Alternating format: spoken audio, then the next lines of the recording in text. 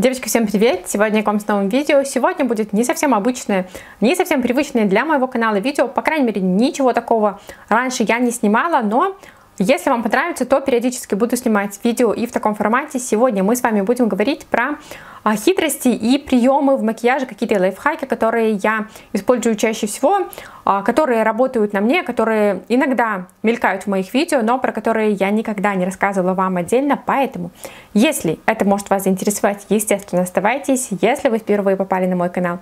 Еще раз здравствуйте, меня зовут Анастасия, мы встречаемся три раза в неделю, делаем макияжи, говорим про косметику, обсуждаем покупки, все, что нас интересует на данный момент, поэтому, если это может заинтересовать и вас, естественно, присоединяйтесь, Оставайтесь, но мы, как всегда, без долгих разговоров начинаем. Поехали.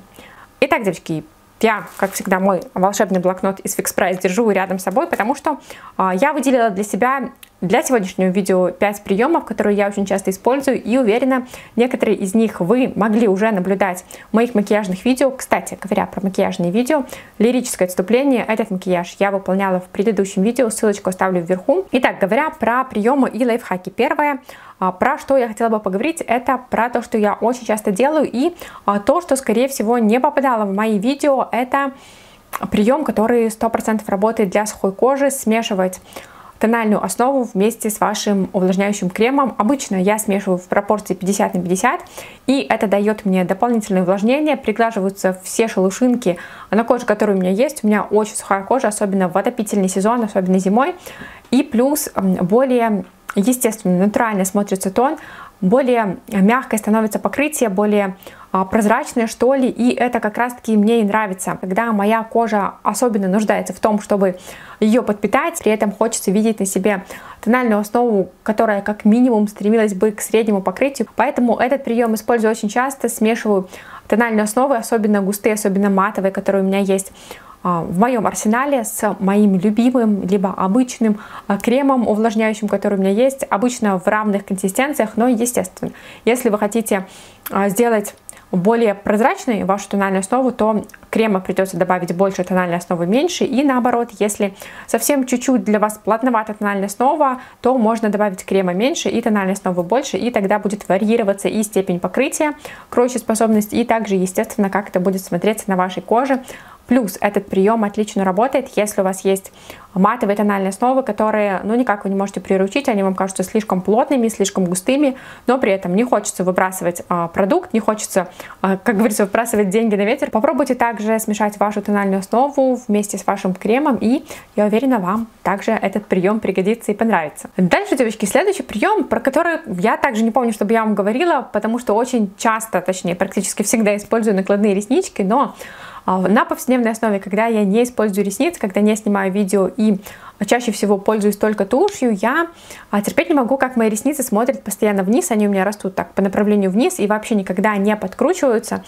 Я никак не могу совладать а, с штучками вот этими, которые подкручивают ресницы. Вылезла у меня с головы, как называется эта вещь, которой зажимаешь ресницы, и она их подкручивает прям никак я не могу с ней совладать, у меня сразу же начинает просто а, поток слез из глаз капать, и мне это очень не нравится, и плюс я не вижу а, ярко выраженного эффекта, то есть на мне они практически никогда не срабатывают. И для себя я нашла такой прием, такой лайфхак, это когда я наношу тушь, обычно я наношу именно два слоя, и а ресницы еще такие немножечко влажные, немножечко остаточная липкость от туши присутствует. Я просто беру пальчиком и подкручиваю их и удерживаю в этом состоянии буквально 3-4 секунды. И вот этот прием срабатывает на ура. Ресницы в таком же подкрученном а, положении остаются на весь день, потому что в таком положении они застывают, и все. Никогда потом изгиб, который вы с помощью пальчика придаете ресничкам, не одеваете. Единственное, что, естественно, на руке остатки туши остаются, но это никакая не проблема, можно пойти и вымыть. Но возвращаясь к ресницам, они 100% подкручены, плюс они подкручены все.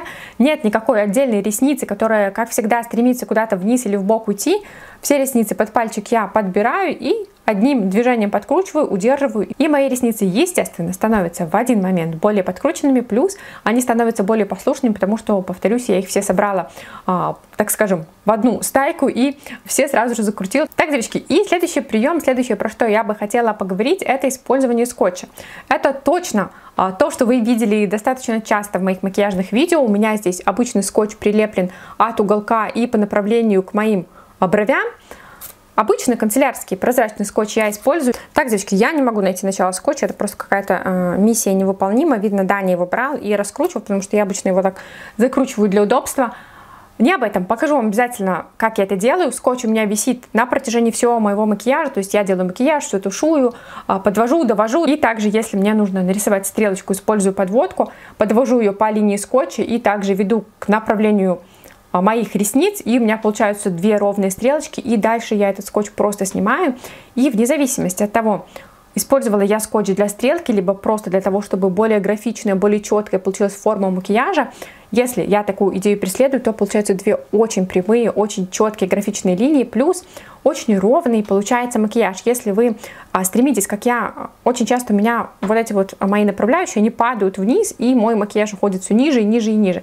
Попробуйте прикрепить скотч, либо специальные, специальные полоски продаются, по-моему, у Эльф производителя, опять-таки для макияжа, они называются, по-моему, стики для макияжа, они уже в белом цвете. Попробуйте их использовать, они однозначно облегчат вашу задачу и в рисовании стрелок, и в выведении более четкой, более правильной формы макияжа. Так, девочки, и следующий прием, который я использую реже, но все-таки иногда такое бывает, что я оформляю сначала базу, сначала макияж лица и далее перехожу к глазам.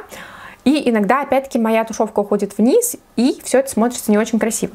Естественно, не хочется мицелляркой разъедать все, всю ту красоту, которая была нанесена, не хочется разъедать вот эту вот зону. И плюс, если даже на подсушенную а, мицеллярную воду которая здесь остается, даже если она полностью высохла, наносить любую косметику, она не будет смотреться так же красиво, потому что вот эти остатки, которые впитались в кожу от мицеллярного средства, они все равно будут постепенно в течение дня разъедать макияж, разъедать косметику, поэтому всегда рекомендуют, если пользовались мицеллярным средством, удаляли какие-то остатки макияжа, если что-то осыпалось, например, на лицо, то дальше мицеллярную воду тоже нужно убрать с помощью, по крайней мере, какого-нибудь тоника, чтобы более приятную среду для вашего макияжа, для косметики создать, поэтому да. Итак, возвращаясь к макияжу глаз, моя тушевка ушла слишком низко, мне не нравится, как это все смотрится, либо она слишком широкая стала, и опять-таки, а, не хочется мне ничего убирать с лица, хочется скорректировать только эти моменты, я беру пушистую кисть, вот такую, например, от Бейли, но для меня это только эта кисть, потому что других таких у меня нет. Это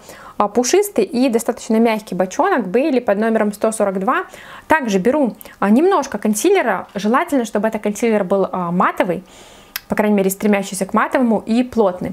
Немного консилера наношу на руку и просто прохожусь по границам вот этой вот кистью, вот такими движениями. Я ничего не вырисовываю, не сделаю никаких графичных линий. Если мне хочется сохранить мягкую тушевку, я просто прохожусь немножечко кистью с консилером и почищаю, убираю на границах все, что мне не нравится. И а, консилера становится все меньше и меньше на кисти, можно все ближе и ближе подобраться а, к макияжу глаз и оставить мягкую тушевку и при этом сгладить все, что немножко ниже ушло туда, куда не надо. Либо если вы уже, например, заканчиваете делать макияж и где-то какое-то пятно, которое никуда не растушевывается, особенно если оно где-то здесь на уголочках, то опять-таки попробуйте немножко набрать консилера, желательно растушевать его, разогреть на руке и пушистой кистью пройтись рядышком, и вы все это сгладите, все это не будет так заметно, и если тушевка у вас прям здесь совсем ушла в дымку, просто ушла слишком далеко, слишком высоко, то она вообще уйдет, она будет незаметной, и а, с помощью консилера и вот такой кисти все это можно будет сгладить. И последний прием, последнее, про что я бы хотела с вами поговорить, это то, о чем меня спрашивают, наверное, под каждым моим макияжным видео, почему сначала глаза, потом лицо.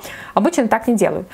Я так делаю в 99% случаев как раз таки потому, что тени всегда стремятся осыпаться, тушь всегда стремится осыпаться. Для того, чтобы избежать повторного нанесения, либо какой-то фиксации потом всего того, что осыпалось, я всегда сначала делаю макияж глаз и далее делаю базу, делаю лицо. Это мой самый просто любимый лайфхак, прием в макияже, который я, к сожалению, не слишком часто у кого-то вижу. Обычно а, сначала оформляют лицо, потом делают глаза, но всегда есть осыпание, просто это не показывают на камеру. Осыпание есть всегда у дорогих палеток, у а, более бюджетных палеток тем более. Пыльные тени у Анастасии, пыльные сыпучие тени у Худы. Поэтому неважно, это Белор Дизайн, Рилуи, либо Худа Бьюти, либо Наташа Динона, все равно мелкие осыпания всегда будут, даже если использовать базу под макияж, даже если использовать базу под блестки. Особенно если, кстати, вы используете крупные либо мелкие блестки и пигмент, все это осыпется вот сюда. И, возможно, это не будет заметно, когда вы делаете при обычных лампах, при обычном освещении, не будут заметны все эти шиммерные частички под глазами, но а, если вы станете непосредственно под прямые лучи солнца вы выйдете на улицу, все это будет сверкать, мерцать, и здесь получится какой-то непонятный а, шиммерный участок, либо матовые оттенки осыпятся, опять-таки все это будет некрасиво. И либо вам придется заново переделывать макияж лица, либо а, придется все это подправлять очень долго, фиксировать консилером, и опять-таки будет потрачено гораздо больше времени, нежели вы просто сотрете все осыпания, уберете а, влажной салфеткой, либо ватным диском и мицеллярной водой, и у вас будет чистая ровная база, на которую отлично будут ложиться все ваши тональные основы, плюс вы не будете раздражать вот эту вот зону, которая очень тонкая, очень чувствительная под глазами, не будете лишний раз а, там возюкать, все исправлять, все это будет смотреться 100% более натурально, более красиво, красиво, более ровно, и макияж, естественно, будет держаться еще лучше, стойкость его продлится, нежели все это растушевывать и разюзоливать э, тысячу раз. Так, девочки, это было все, что я вам хотела рассказать, чем хотела поделиться и показать в этом видео. Постараюсь снять часть с кусочками, где я демонстрирую то, про что говорю, для того, чтобы информация, естественно, легче воспринималась. Всегда визуально все легче воспринимается, нежели а, чем на словах. Плюс, как говорится, доказательство того, что эти приемы работают. Если вам понравилась такая рубрика, дайте мне обязательно об этом знать, поддержите меня комментарием, пальчиком вверх, чтобы я знала, что такие видео вам также интересны. Тогда постараюсь еще пятерочку насобирать и через пару недель продолжение такого видео снять. На этом буду с вами прощаться. Огромное спасибо за просмотр. Очень скоро мы с вами увидимся уже в новом видео. И всем пока-пока. До новых встреч.